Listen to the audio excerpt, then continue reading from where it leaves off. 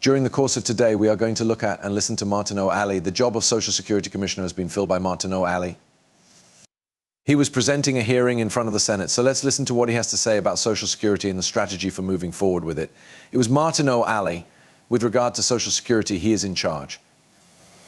Listening to Martin O'Malley is also a lovely experience. As a lawyer, he is employed. On the other hand, based on how I feel about him, he appears to be a good leader. Is that accurate? Lawmakers are possible to be arranged into groups. A lot of members of Congress have a genuine desire to aid the people of the United States. When it comes to leadership, there are people who aren't really on either side. They are attempting to avoid generating a great deal of noise. Oh no, they don't want to ruin their beautiful gig, if you understand my meaning. In addition, there are legislators who have no intention of taking any action. Their objective is to create a mess one possibility is that they would prefer to devote all of their time to selling themselves on social media rather than assisting anyone else. The three categories of politicians that I recognize are as follows. This leader has the capacity to accomplish a lot, in my opinion. Let's have a look at a list of two Martin O'Malley movies, shall we? Shall we go? It is my profound gratitude to you, Mr. Chairman, Mr. Ranking Member Crapo and the other members of the committee for providing me with the chance to appear in front of you today. In addition, I would like to express my gratitude to Senator and Mr. Chairman for having this hearing regarding our budget. There has been no communication regarding the expenses of Social Security for the past nine years. Having the opportunity to share what I've discovered with you in this room is a privilege. I've been working in this capacity for a total of 90 days. And I must admit that I was pleasantly delighted with the senior executive services need to have a clear leader. They need to put in more effort. I traveled to all nine areas or 16 days in January, and I met folks from all throughout the country. The staff is keen to improve their performance. According to the data, they do feel that they are on a divine mission for each and every one of us. The payroll information interchange, which will be promoted in the near future, is one of the many things that we are now working on. I have gained a lot of knowledge. By July, we anticipate being able to put it to use. It is believed that the 15 to 5 year look back will simplify a substantial percentage of the paperwork and wait times involved with the disability program. But I wanted to make sure that you were aware of this right away. In addition to the other documents that I supplied to you, here is one of the lead slides that I presented to you. I've found that Social Security is currently providing aid to a bigger number of people than it ever has before, while having fewer workers than it has in the prior 27 years. Every single day, I am able to observe the symptoms and repercussions of this.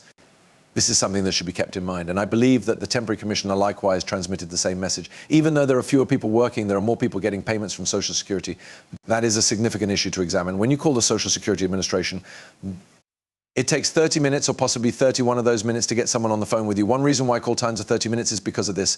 I also feel that it takes more than 200 days to receive the initial response when you submit a claim for disability benefits. The Social Security Administration faces a huge issue when it comes to retaining workers, attracting new employees, and then retaining the employees they presently have. From what I understand, the he has been talking about this for the past, what, 23 years. Up until today, they have not had adequate staff, but today there are a growing number of them. On a daily basis, I believe that 10,000 new persons submit applications for Social Security benefits. That is a significant number of folks, and you do not have sufficient labor. So the position is quite precarious when compared to the amount of money that is spent on payments each year. Social Security's overhead costs are less than 1%. Over the course of the past nine years, this operating overhead has been cut by 20%, which may or may not come as a surprise to you. It did took me by surprise. Companies working in the private sector, such as Allstate, which is also featured on those slides, dedicate around 13% of their yearly expenditures to overhead expenses. Allow me to check, about 22% of the market is dominated by Liberty Mutual, and Liberty Bybity, Bybity Bybity. Uh, for the time being, the Social Security Administration ran on 1.2 till the year 2018.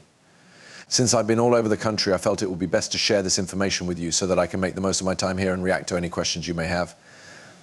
I am writing to advise you about some of the measures that we are doing to address the most serious concerns that have been brought to our attention in the field of customer service. These difficulties include the excessive wait periods on the 800 number, the amount of time it takes to assist persons with disabilities, and the unfair overpayments. We have recruited a new team and we are hoping to launch Securistat within the next 30 days. It is called Securistat and it is our new approach of dealing with success. Every two weeks, every two weeks is the frequency that is maintained. The theme of all eight of the talks was same, not just the choices on the 800 number and disability, but also a glorious hour on fraud, information on how to prevent fraud, and the presence of OAGs at the table as we seek to get right in front of those who commit fraud. A single hour has been set aside particularly for the goal of minimizing the number of initial choices about impairment. We have one simply for the purpose of giving warnings. Notes that look to be old-fashioned Mad Libs are transmitted, but in reality they were created by insane lawyers over the course of time. It is also impossible for us to impose responsibility on our seniors or anyone else who receives the letter and is unable to interpret it. Uh, the only thing that makes sense with relation to some of our warnings is that you should call our 1800 number and wait for 39 minutes if you are unable to comprehend it. All of these are the things that we take into consideration in Securistat. And finally, but certainly not least, I will examine overpayments and underpayments, which are the themes that will be presented in one of these sessions. A good number of us watched the episode of 60 Minutes that was about Americans who received one of these notices that were difficult to read but did not reply to it. After some time had gone, they realized that Social Security was taking 100% of their monthly benefits unless they paid back the excess amount. When we hear these stories, we are all taken aback because they run opposite to our sense of what is reasonable and fair. Therefore, I will be adding some fresh enhancements in that particular area today.